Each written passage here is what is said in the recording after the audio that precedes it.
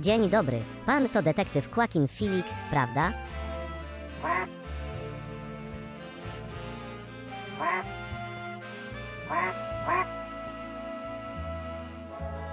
Panie Felix. Kłakin. Dopiero co urządziliśmy biuro, jeszcze nie pokazaliśmy widzom jak ono dokładnie wygląda, a ty się pospieszyłeś i już się tu rozgościłeś.